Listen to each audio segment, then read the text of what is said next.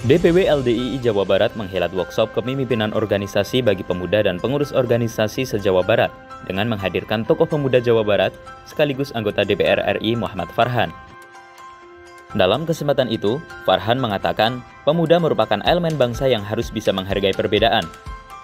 Menurutnya, perbedaan merupakan hal yang sering menghantui persatuan, Aktor kelahiran kota Bogor itu mengajak kepada generasi muda untuk memberi sumbangsih kepada bangsa melalui pemikiran dan karya, sehingga dapat menjadi pemimpin di masa yang akan datang. Jadilah bagian yang memperkaya bangsa ini lewat pemikiran dan karya.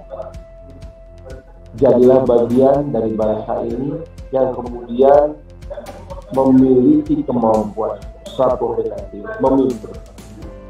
Ia menambahkan, apa pun latar belakang seseorang, ketika ingin membaktikan dirinya terhadap bangsa, maka harus siap segalanya.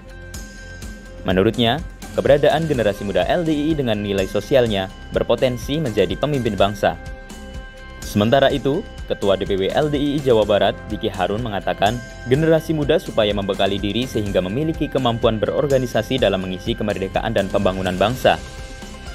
Tetaplah bersemangat mempersiapkan diri, karena Anda-anda ada Anda-andalah adalah tulang punggung bangsa ini siap menyongsong Indonesia Emas 2024. Kegiatan ini dilaksanakan dalam rangka memperingati Hari Sumpah Pemuda.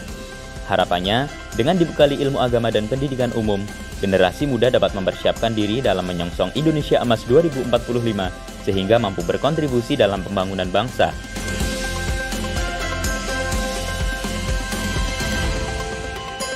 Klik like jika menyukai video ini dan subscribe untuk mendapatkan berita terbaru dari LDII TV. Alhamdulillahi jazakumullahu khairah telah menonton.